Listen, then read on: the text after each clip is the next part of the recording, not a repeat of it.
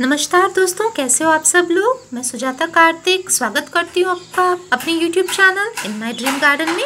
आज हम बात करेंगे सोन चंपा के पौधे के बारे में। इसमें तीन प्रकार के फूल आते हैं, तीन रंगों में, एक तो सफ़ेद, एक ऑरेंज और एक पीला। मेरे पास ये सफ़ेद रंग के फूल वाला पौधा है और ये हाइब्रिड वैरायटी का पौधा है जो बहुत जल्दी ही आपको फूल दे देता है। तो इसीलिए आप जब भी खरीदें सोन चंपा का पौधा तो आप हाइब्रिड वैरायटी ही ले लें।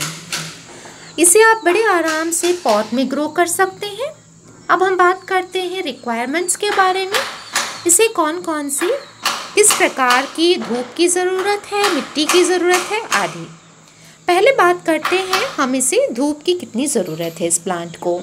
इस प्लांट को तीन से चार घंटे की डायरेक्ट सनलाइट की। ज़रूरत है, तभी अच्छा फ्लावरिंग देगा। तो ऐसे लोकेशन पे आप इस प्लांट को रखें, जहाँ पे इसे तीन से चार घंटे तक का डायरेक्ट सनलाइट मिलता रहे। उसके बाद बात करते हैं इस पौधे की मिट्टी की। मिट्टी आप ऐसा बनाएँ ताकि पानी उसमें जमा ना हो, काफ़ी पोरस हो। उसमें आप कोकोपीट मिलाइएगा। उसके बाद सैंड परलाइट और ग्राउंड सॉइल इक्वल मात्रा में मिलाइए और इसकी पॉट की मिट्टी तैयार कीजिएगा। बात करते हैं आप पानी की। पानी इसे बराबर सही मात्रा में दीजिए।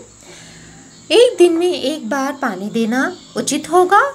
आप क्लाइमेट के हिसाब से भी थोड़ा बदलाव कर सकते हैं। ओवर वाटरिंग ना करें, इससे जो है पौधा गल सकता है।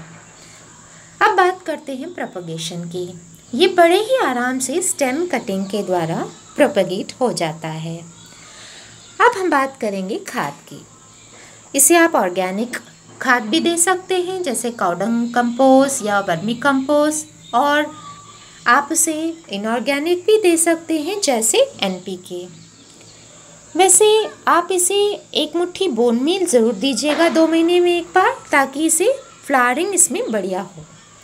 ये वास्तु के हिसाब से भी ये पौधा घर में रखना काफ़ी ही शुभ माना जाता है और इसके फूलों में भी बड़ी खुशबू आती है, जो आपके बगीचे में चार चाँद लगा देता है।